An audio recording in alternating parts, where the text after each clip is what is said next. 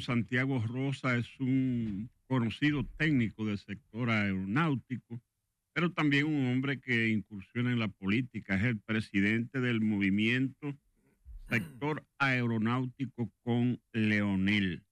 Bienvenido, don Santiago. Buenos días. Buenos días, don Freddy. Eh, aprovecho para reiterar mi respeto a este equipo en donde me siento como en casa. Eh, normalmente usted sabe bien que más que político, tratamos de hacer un aporte constructivo porque nos desenvolvemos en una actividad que juega un papel vital para lo que es un eje de la economía dominicana como es el turismo. Sin embargo, haríamos un muy flaco servicio si algunas cuestiones no las llamamos por su nombre. Entonces nos manifestamos a la disposición de ustedes para eh, llevar a la ciudadanía nuestras inquietudes y, por qué no decirlo, nuestras propuestas, aprovechando que hay recién designado un nuevo director del Instituto Dominicano de Aviación Civil y nuevas autoridades igualmente en las otras dependencias del sistema de aviación civil de la República Dominicana. Don Santiago, hay un tema que se apareció, no de repente, pero está ahí y está con mucha presencia. El sonado contrato de cielo abierto Estados Unidos, República Dominicana. Realmente eso hasta qué grado nos beneficia porque hay gente que dice que también nos perjudica. Y realmente lo que nosotros planteamos desde un principio, que ese acuerdo debió haber sido socializado con todos los actores del sector. Sabemos que la aviación civil confluyen diferentes intereses y algunos de ellos inclusive contradictorios. Lo que debe de primar siempre es el interés del pasajero, del usuario, que es quien paga la actividad. El dueño de la actividad es el usuario y, por qué no decirlo, eh, quien pone eh, parte del dinero pone, es decir, en juego su bien más preciado, que es la vida. Entonces la actividad debe de ser, por un lado, segura, por el otro lado debe de ser competitiva. Un acuerdo de servicios aéreos entre dos estados es lo que normalmente define el marco de intercambio entre esos dos estados. En el caso específico de los Estados Unidos, se le ha llamado acuerdo de cielos abiertos. En todo momento hemos planteado que un acuerdo no puede ser un contrato de adhesión de una parte hacia la otra, sino que debe de reflejar los intereses de ambas partes envueltas. Y en el caso puntual de este acuerdo de servicios aéreos o de cielos abiertos entre la República Dominicana y los Estados Unidos de América, varios sectores han manifestado su preocupación por entender que de una u otra manera se ven lesionados sus intereses, digamos, por un lado, empresarios aéreos de la República Dominicana y, por qué no decirlo, inclusive, la misma parte prestadora de servicios aeroportuarios ve cómo se relegan determinados principios que son netamente comerciales, como es, por ejemplo, el que las líneas aéreas se puedan brindar su propio servicio en tierra. Entonces yo creo que de una u otra manera eso afecta, afecta un régimen de concesión en unos casos, que son los aeropuertos que pertenecen al Estado dominicano, o de los aeropuertos privados, puntual, eh, puntualmente Punta Cana, La Romana y Santiago, porque de una u otra manera un acuerdo que firme el Estado le está lesionando una parte que es netamente comercial. Don Santiago, eh, este es un acuerdo que lo escuchamos que se estaba debatiendo desde la gestión pasada del presidente Danilo Medina y que se ayudó bastante, se discutió y posteriormente recibió eh, una decisión favorable del Tribunal Constitucional, porque dada la naturaleza del acuerdo tenía que ir allí. Parte de lo que se nos ha dicho a nosotros los ciudadanos que no tenemos un conocimiento técnico en la materia es que esto va a favorecer al usuario en razón de que pueden conseguir vuelos a costos más bajos. Todos los que compramos vuelos sabemos que aquí el problema que tenemos grave son las tasas aéreas, los impuestos que se cobran. ¿Este tipo de acuerdos pudiera beneficiar al usuario en ese sentido? nosotros quisiéramos y abogamos porque así sea, eh, apreciada Wendy. Sin embargo, eh, recorremos que hay un tema de competitividad que de una u otra manera viene reducido o limitado, por un lado, por como bien usted señala, por las tasas. Tenemos impuestos de salida, tenemos tasa aeroportuaria, tenemos tasa aeronáutica, tenemos igualmente eh, un precio del combustible que fluctúa bastante y eso es lo que va a determinar eh, la competitividad o no de la tarifa aérea. Pero por el otro lado también está el hecho de que la autoridad que está llamada a velar por la facilitación al transporte aéreo, que es la Junta de Aviación Civil, sea capaz de garantizar el interés de su pasajero. En otros lugares nosotros vemos cómo los pasajeros se organizan en asociaciones de usuarios y empujan, exigen lo que es tarifas accesibles. Por ejemplo, cada vez vemos mucho más limitado el tema del equipaje con el que el pasajero puede viajar. Sí, Cobran hasta la maleta de mano en, muchos sitios. Hasta la de mano, imagínense. Sin embargo, sin querer que, que esto eh, parezca peyorativo, es decir, los haitianos exigen su derecho a ese respecto. Eh, e igualmente, en otras latitudes, ustedes todos han tenido la oportunidad de viajar con una línea aérea desde Santo Domingo a cualquier punto de los Estados Unidos. Y sin embargo, esa misma línea aérea, cuando usted la utiliza desde Estados Unidos, por ejemplo, hacia Europa o hacia cualquier otro destino, se da cuenta de la diferencia del trato al pasajero, en sentido general. Entonces, eh, esperamos que este acuerdo de servicios aéreos propicie muchas más opciones, este acuerdo de cielos abiertos, más opciones, que la competencia igualmente permita que el pasajero salga beneficiado y beneficiado no nada más en lo económico, porque queremos más líneas aéreas, pero queremos más líneas aéreas seguras, mm. porque lo fundamental en la aviación civil no es necesariamente un tema de económico sino de que sea segura. A propósito de líneas aéreas seguras, el papel o parte del papel de, del IDAC es garantizar las operaciones, la seguridad de las operaciones aéreas. Nosotros tenemos varias aerolíneas dominicanas. Eh, creo que hay como cinco aerolíneas. Hay un proceso de crecimiento extraordinario. ¿Qué tan seguras son las operaciones aéreas dominicanas? Eh, primero, yo entiendo que nuestro sistema de aviación es un sistema de aviación robusto. La aviación, como todos sabemos, es una de las actividades más reguladas, más normadas, pero igualmente recordemos que el sistema de aviación como tal está comprendido o normado por el convenio de Chicago y el convenio de Chicago está complementado por 19 anexos. Tres de estos anexos tienen un peso muy fundamental en lo que tiene que ver con la seguridad operacional, que son los que dan al traste con la llamada categoría, con que los Estados Unidos categorizan los estados como categoría 1 que cumple o como categoría 2 que no cumple, pero igualmente la Unión Europea tiene una llamada lista negra e igualmente la Organización de Aviación Civil Internacional, que debería de ser la actividad que rija a todos los estados, a nosotros, a Estados Unidos, a la Unión Europea, a todos, tiene un programa universal de auditoría de la vigilancia de la seguridad operacional.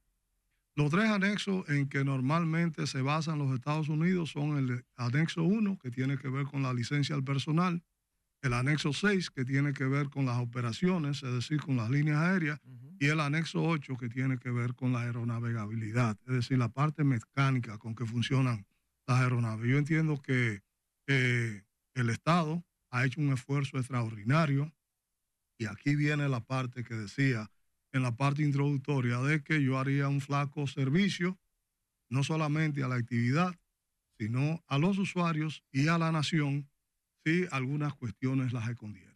El país se vio a punto de perder la categoría 1 y nosotros de una manera muy proactiva lo señalamos en anteriores intervenciones. Y no solamente nosotros, sino eh, es decir, en la aviación eh, eh, hay luces naranja, luces rojas que se van prendiendo, que alertan normalmente de si el sistema es seguro o no es seguro. A esa Santiago. pregunta iba, Santiago. Para perder una categoría como esa, ¿qué, qué, qué error debería cometer el país? En mi criterio, hubo un desmantelamiento sin sentido de una estructura técnica que demostró ser funcional sobre la base de la retaliación política de un personal que no es en lo más mínimo político. Es decir, el técnico del sector aeronáutico, su principal compromiso, bueno, don Freddy lo señalaba, yo presido un movimiento de apoyo al doctor Leonel Fernández. Sin embargo, nunca he venido aquí a eh, el tema de la aviación civil, eh, reducirlo Mm. al debate político, Exacto. porque la aviación civil es una actividad estrechamente ligada a la preservación de la vida humana. Muy delicada, claro. Entonces, no puede uno bajo ningún concepto reducir ni la aviación civil, ni la educación, ni la salud pública, ni los aspectos de la seguridad ciudadana al debate cotidiano político.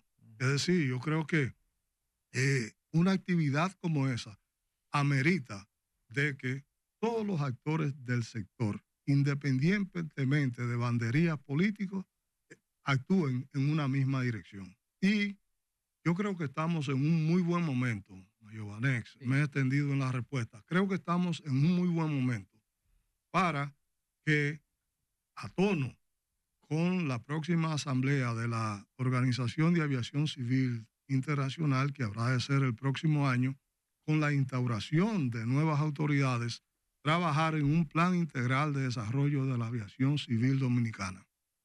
Cuando hablaba de los 19 anexos que componen el o que complementan el convenio de Chicago, hay que señalar que el Instituto Dominicano de Aviación Civil es responsable de 16 de esos anexos. Y eso va desde el reglamento del aire, la provisión de los servicios de tránsito aéreo, la comunicación, navegación y vigilancia, los servicios de búsqueda y rescate, eh, los servicios de información aeronáutica. Todo eso es responsabilidad del Instituto Dominicano de Aviación Civil. De- déjame, déjame hacer otra cosita ahí, Salvador, perdón. Sí, sí, adelante, adelante. Nunca se había visto en mejor momento ahora la aviación civil. A mí me gustaría que sea la... Usted es el técnico, yo, yo soy aquí. Sí, pero el problema es que de una u otra manera yo fui parte de una gestión y no quisiera Sí. eh, caer en modestia, pero yo creo que los indicadores de la Organización de Aviación Civil Internacional hablan bastante claro cuando nos correspondió a nosotros, pues nosotros fuimos uno de tan solo 14 países que teníamos más de un 90% de nivel de implementación efectiva, es decir, según el Programa Universal de Auditoría de la Vigilancia de la Seguridad Operacional, y nunca tuvo en juego el que la República Dominicana perdiera la categoría. La República Dominicana era un socio estratégico de la, organiza- de la organización, perdón, de la Administración Federal de Aviación eh, de los Estados Unidos y un referente regional. Eh, nosotros eh, no quisiéramos reducir el debate a cuando se actuó mejor o cuando se actúa eh, peor. Pero antes de que se vaya de ese tema, antes de la pregunta de Salvador, porque está muy conectada a lo de Sí, sí, sí. deberíamos trabajar entonces para que el personal de la aviación civil sea un personal protegido, el personal técnico protegido, quizá ver un De perfil carrera. diferente para que va a dirigir el IDA, para personas que van a, a manejar todo lo que es- tiene que ver con la seguridad de las operaciones aéreas y con las políticas de la navegación en la República Dominicana. El actual, ¿Qué ustedes plantean más o menos que, que pudiéramos variar de las condiciones que existen actualmente? el actual director de aviación civil es una persona que viene precedida de una bien ganada fama. Es del como- sector, ¿verdad? Entiendo que es piloto privado. Eh, sin embargo, yo me permitiría eh, darle a él un último consejo sin paga. Eh, y es que esa condición de liderazgo que le da el hecho de dirigir la institución de más peso. No quiero decir con esto que las demás no tienen peso, Sí. porque, por ejemplo, el Cuerpo Especializado en Seguridad de la Aviación Civil, que es la responsable de la protección de la aviación contra actos de interferencia ilícita, está siendo manejado por un oficial al que todos le conferimos mucha competencia e igualmente ha mantenido una estructura técnica a lo largo de los años bastante eh, eficaz, bastante eficiente, e igualmente quien dirige la Junta de Aviación Civil viene de haber agotado cuatro años al frente del Instituto Dominicano Sí. de Aviación Civil. Sí. Entonces, ¿qué es lo que sugerimos, José María, don Freddy, distinguidos eh, amigos? Es que se trabaje en ese plan integral de desarrollo de la aviación civil dominicana, en donde se tome en consideración o que los pilares de ese plan sean, por un lado, recursos humanos competentes, en los cuales el Estado dominicano y, eh, eh, invierte cuantiosísimos recursos. Nosotros tenemos o mejor dicho, el Instituto Dominicano de Aviación Civil, cuenta con técnicos muy competentes que inclusive los utiliza la Organización de Aviación Civil Internacional para auditar los sistemas de aviación de otros países. Es decir, Bien. pero eh, igualmente, eh, pudiéramos decir, se tiene que trabajar en la parte de la infraestructura, se tiene que trabajar en la parte de la TICS, es decir, de la tecnología, con que se tiene que trabajar igualmente con un enfoque proactivo y, por qué no decirlo, prácticamente hasta con un enfoque predictivo, porque cada vez son mayor la cantidad de vuelos y mayor la cantidad de pasajeros que se desplazan a nivel mundial. Es decir, apenas cuatro años atrás, que yo dejé la institución, se hablaba de 7 mil millones de pasajeros a transportarse al 2035. Ya ahora recientemente eh, me estaba revisando unos números ahí de una conferencia de una organización y se está hablando de 8 mil millones de pasajeros A nivel global. a nivel global, correcto. Entonces, estamos hablando de eh, un salto cuántico en la cantidad de pasajeros. Eso lo permite, por un lado, la accesibilidad de la cual se ha hablado mucho, Sí. pero en lo que más se tiene que trabajar, el enfoque mayor que se debe poner es en la parte de la seguridad de las operaciones. Porque créanme, señores, todos ustedes recuerdan el accidente aquel famoso de Tenerife. Pero, para traerlo más al patio, el accidente de nosotros de Puerto Plata, es decir, en el que murieron Sí, me re- 200 me y algo de turistas alemanes. Eso prácticamente fue la última pala de tierra al turismo en Puerto Plata.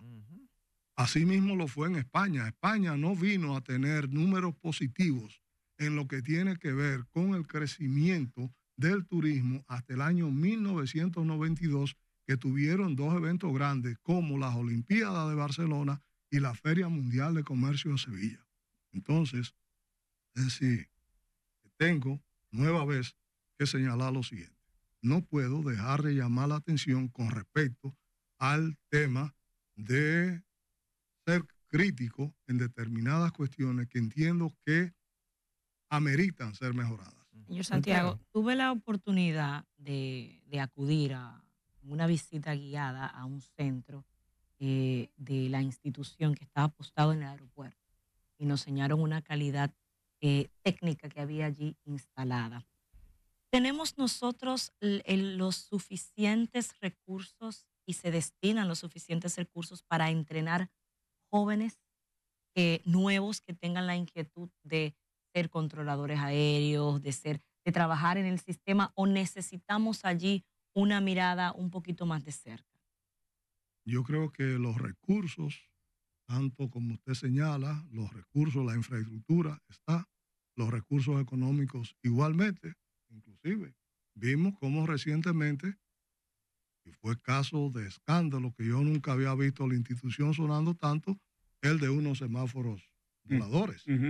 Es decir, de donde se tomaron 1.200 millones de pesos que correspondían al Instituto Dominicano de Aviación Civil para destinarlo a eso. Y sabemos, los recursos estatales pertenecen al Estado y nunca eh, vamos a poner, usted no puede eh, satisfacer tanto a una actividad al punto tal de sacrificar otros. Yo creo que es muy importante lo que tiene que ver con los semáforos, pero recordemos que las tasas aeronáuticas tienen un principio, según el documento 9082, una tasa se establece para ser reinvertida en la actividad que, lo, que la genera.